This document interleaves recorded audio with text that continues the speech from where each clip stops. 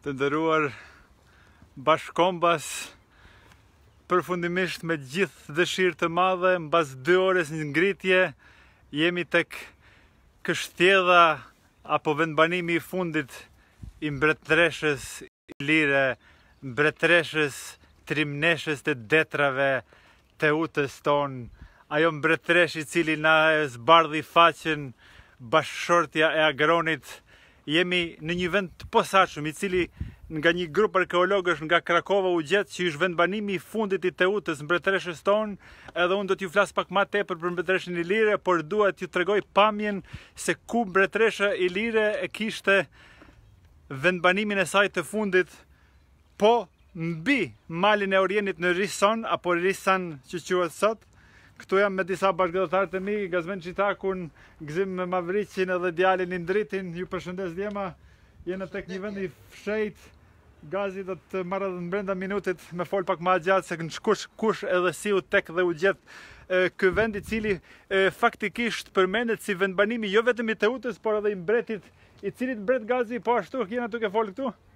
mbreti Bulis. Balajos. Balajos, mbreti Balajos, domethënë ka jetu këtu, kjo kështjellë nuk u kish dit deri para gati një vitit që ekziston, eh, janë pamje mahnitëse që me të vërtetë eh, e tregojnë madhështinë e gjirit të Risanit, i cili ishte edhe vendbanimi i fundit i mbretëreshës Teuta. Jemi duke folur kur mbretëresha Teuta e sundonte fisin e Ardianëve, ky vend jemi duke folur 230 vjet para Krishtit. Paramendoni, jemi duke folur për 2500 vjet shkumuna, jemi duke folur për diçka që ishte me të vërtetë mallëngjyese sepse duhet ta dimë kush ishte mbretresha Teutë.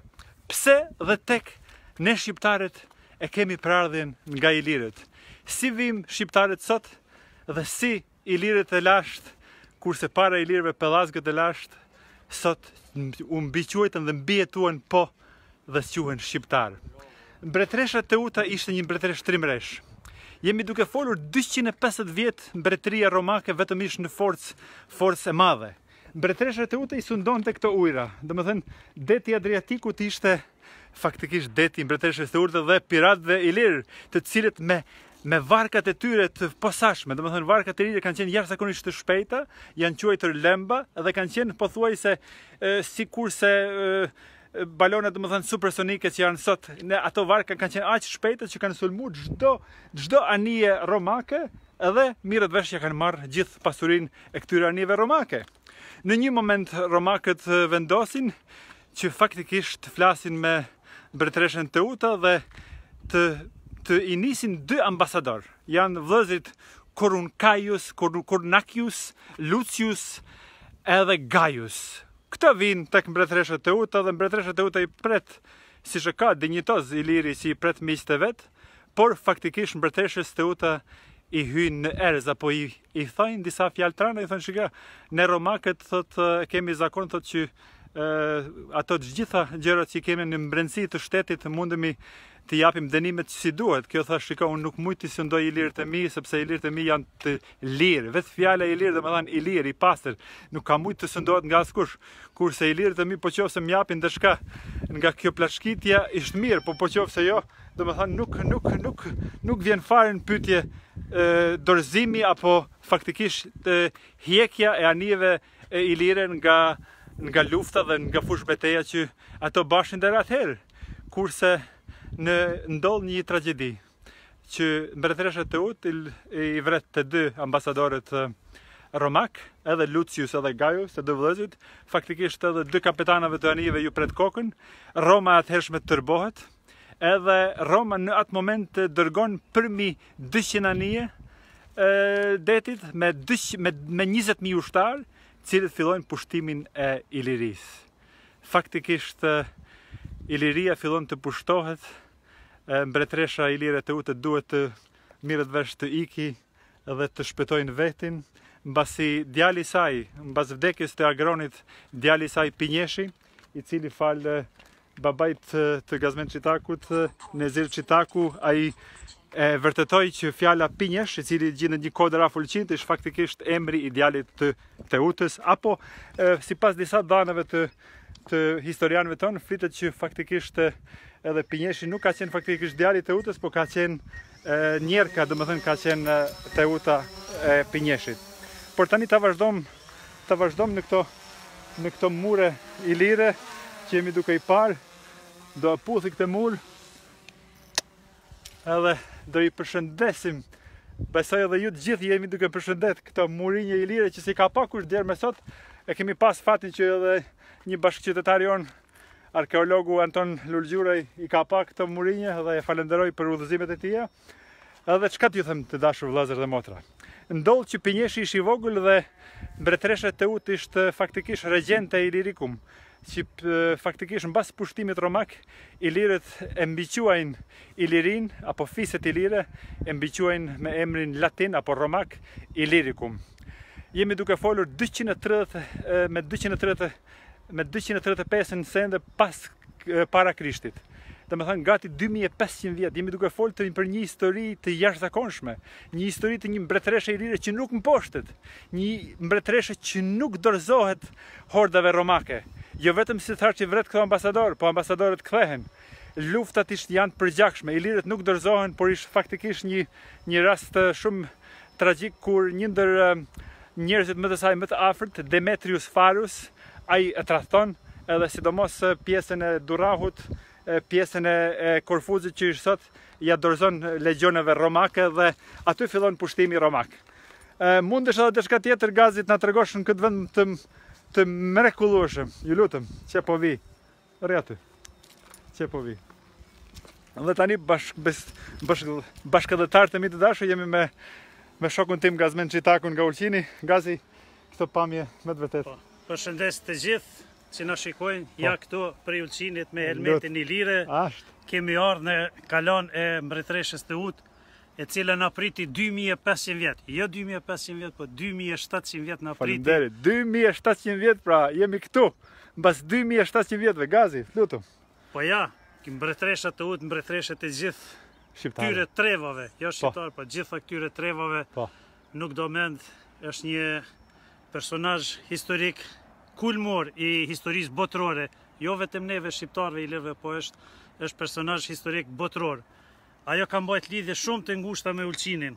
Pse e theksoj këtë? Pasi që prej kësaj kalaje, këtu në Risan ku jemi, ka mbajt lidhje shumë të shumë të mira me Ulqinin. Gjithashtu, domethënë me kalanë e Ulqinit, ku po. Ulqinakët e atëhershëm i sillnin dhurata të mëdha mbretëreshës së tyre Teuta. Po. Dhe ajo Pasi Agroni, për... Agroni ka pas edhe, domethënë qendrën e vet në Shkodër, që atëherë po. Skodranum. Ajo, ajo për kundërshpërblim, domethënë që ju jepshin këta, si me thonë shpërblime të mëdha, po. i lejonte që të lirë të lundrojnë nëpër detin po. Adriatik, Jon madje edhe gjithë Mesdheun, pasi që ata ishin bërë edhe, si të themi, edhe një frikë e madhe për të gjitha anijet e cilat lundronin, jo vetëm të perandorisë romake, por edhe ato fenikase, greke, egjiptane, domethënë, edhe anijet kanë qenë shumë të shpejta, po, të asaj kohe. Kanë qenë lembat, lembat tona të njohura, dhe ata me, me sulme të shpeshta i plaçkitnin ato dhe Për mos t'i thënë kurgjo mbretëresha, aty ata i jepshin një pjesë të të të plaçkës asaj. Domethënë ajo. Derisa ata i jepshin plaçkën mbretëreshës së tyre duke i bërë lajka të ndryshme, po. ajo ishte ok me me me banorët e saj dhe i lejonte që të lirë të bënin Deri, po jam duke ju thënë, deri sa erdhën Romakët me ambasadorët e vet, Lucius edhe Gaius Korun Kornukatis. Kornukatis. Po ajo është interesante se domethënë aty vjen në shprehje ajo ashpërsia e jonë e mbretëreshës. Po. Domethënë Teuta jo vetëm një femër, po një burrneshë, burrneshë, e cila dojshte të tregojë qëndrimin e saj të rrept, Menjëherë dha urdhër që tha unë nuk i nënshtrohem urdhrave të ndryshme të Senatit apo të të urdhrave të ndryshme pe pe dikujt tjetër po, po. dhe jep urdhrin që t'i heket koka menjëherë atyre si të themi lajmëtarëve që kishin ardhur prej prej Senatit të Romës. Mirë, po, po. Pritet koka dhe dihet më se ne... Se çka ndodhë, fillon, fillon domethënë pushtimi i Ilirisë, edhe fillon për fat të keq 334 vjet na kanë pushtuar romakët, për fatmirësi, mbasi bas pushtimit romak, romakët e kanë vërejt që po qoftë se ilirët i nënshtrojnë dhe po qoftë se ilirët bëhen domethënë pjesë e perandorisë romake, ata do të fitojnë nënshtetësinë romake, e cila i dha mandej asaj perandorie i dha përmbi 30 Cezara, një ndër më të njoftunit që jemi ne duke folur të, jena tu folur për Dioklecianin, i cili ka lindur në Dokle dhe Konstantinin e Madh, i cili ka lindur në Naisus, afër në Nishin e sotëm, që faktikisht edhe e ka pru krishtenizmin te... Edhe Justinianin e parë s'ban me harru. Po të lutem, kurse edhe, edhe Shën Jeronimin, për, për ato që kanë dëshirë të dinë diçka për krishtenizmin, ta bëjnë Google për Shën Jeronimin, por interesant Gazi kjo kështjellë, pse nuk u zbulu gjer më para një vitit, domethënë, pse nuk dinte kërkush se kjo kështjellë është kështjellë ilire? Po ja, shiqo, kjo kështjellë ka, është e njoftun si kështjellë ilire, po? mirëpo për hir të ngjarjeve si politike, si të rrethanave të ndryshme, nuk ka qenë interesante për publikin, për publikun e gjerë. Dhe dua të them se vendi në cilin gjindemi është në shtetin e Malit të Zi, i cili dikur ka qenë në ish-Jugosllavi, po. Dhe strukturat e atëhershme gjithmonë gjithmonë kanë dashur që gjithmonë kanë dashur që gjurmët ilire të jenë sa më të vogla. Ishim po. dëshmitar po në mozaikun e famshëm të Risanit, i cili është zoti Hipnos i paraqitur në atë mozaik. Po. Dhe me, me shkrimet e vogla përmendeshin ilirët, mirë po gjithmonë duke dhënë akcentin në kulturën Slav. Helene, jo, Helene apo Romake. Domethënë gjithmonë duke dashur të minimizojnë kulturën ilire.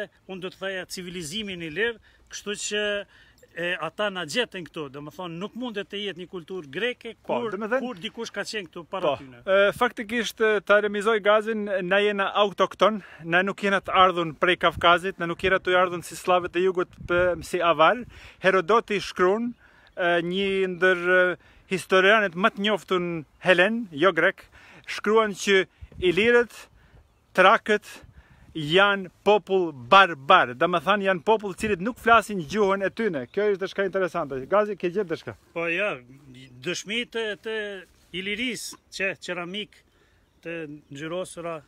Domethënë këtu ka me të tilla ka sa dush Mirpo mbetet që të gërmohen të vinë ekspeditat arkeologjike. Bëj apel profesorit dashur Neritan Ceka, i cili ka shumë një libër të mrekullueshëm për ilirët, profesorit tem dashur Moikom Zeqo dhe gjithë profesorët e Shqipërisë të vinë po këtu në Risan, jam më se i gatshëm t'ju pruj këtu. Edhe dua ta mbaroj këtë me një me një një me një bisedë shumë të dhimbshme sepse ish mu këtu ku mbretëresha Teuta mbas mbasi mbretëroi shumë pak, mbasi u tradhtua nga Demetrius Farus dhe në pushtet erdhi djali, domethënë i Agronit Pinjeshi, ajo nuk u dorëzua edhe pse jetoi edhe 3 dekada dhe 30 vjet më gjatë jetoi ajo faktikisht në vitin 220 para Krishtit mu nga kjo pjesë këtu që do t'ju paraqes tani Kërceu nga ky shkëmb edhe e vrau vehten. Domethënë, kjo ishte një humbje aq e madhe për Ilirinë e asaj kohë, sepse mos harroni para asaj kemi pas humbjen e Pirros të madh, humbjen e Agronit, edhe paramendoni edhe mbretresha jonë Teuta këtu, mu këtu, Edhe thojnë sipas një gojdhane të vjetër sllave që Risani prej asaj kohe është i namun apo i nemun nga mbretëresha Teuta që kurrë mos të vijë asnjë anije këtu. Që çuditërisht edhe sot mbas 2700 vjetëve siç cek Gazi këtu nuk kemi asnjë anije. Qe pra. Këto ujëra janë faktikisht më se të dezertuara nga anije. Shpresoj se jeni kënaq nga ky vend i bekuar ku ishte kështjella e mbretëreshës Teuta me këto pamje mahnitëse e cila mbretëresha jonë ilire para 2700 vjetëve mbretëroi me një dorë të fortë, me një fuqi mbretëresha e detrave, siç e quajnë edhe një herë ju përshëndes dhe Zoti ju bekoftë gjithë ku shikoni dhe ku jeni. God bless you all. Thank you very much for watching. Jeni të nderuar të gjithë. Fola pak edhe anglisht, por eh, ma merr mendja ta përshëndes edhe vllaun tim binjakun, Naim Flamurin, i cili po të ishte në atë kohë do të ishte afër Teutës Mbretëreshës si adjutanti i saj kryesor. Të ju përshëndes gjithëve kudo si shikoni me besë dhe shpresë që të vini edhe ju këtu ta shikoni këtë vend të bekum. Mirupafshim dhe tungjatjeta. Ju lutem djema, përshëndeteni një. Gazi.